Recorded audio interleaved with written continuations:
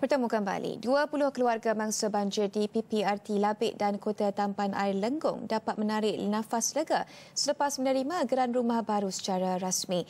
Lebih menggembirakan mereka, kesemua 20 rumah yang dibina di Padang Cruz itu dilengkapi perabot dan juga peralatan elektrik moden.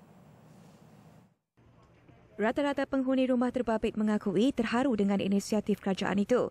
Penempatan baru yang menelan belanja hampir 2 juta ringgit itu telah dirasmikan sendiri oleh Raja Permaisuri Perak Tuanku Zara Salim pada Sabtu. Bersyukur Alhamdulillah lah. Apa sebab apa, uh, tak pernah diimpikan nak dapat rumah yang secantik macam ni kan. Makcik rasa banyak-banyak tengah terima kasih. Saya tak sangka baju itu banyak orang yang datang tolong kita kan.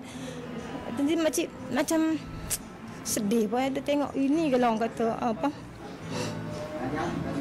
Kerjasama yang ada orang bagi. Macam-macam tuan yang kami dapat barang makan. Semua kali dapat alat-alat kat rumah semua dapat membari TV peti air mesin basuh. Macam-macam lagi lah.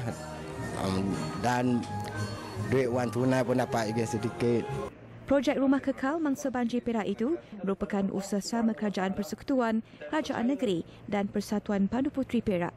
Sementara itu, Menteri Kejaraya Datuk Seri Fadilah Yusof memberitahu setakat 26 Ogos, sebanyak 153 rumah telah dibina dan 461 buah lagi dalam peringkat pembinaan.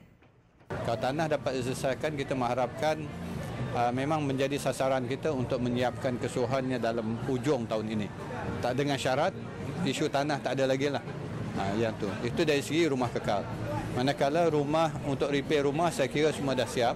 Uh, yang tu di bawah kelolaan Kementerian Kemajuan Luar Bandar dan agensi bawah kami CIDB melalui Akademi Binaan Malaysia terlibat untuk merepair rumah.